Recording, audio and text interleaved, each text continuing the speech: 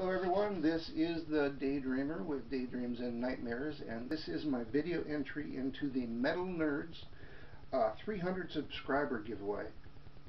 He asked us to answer a few questions. He wants to know what you like about his channel.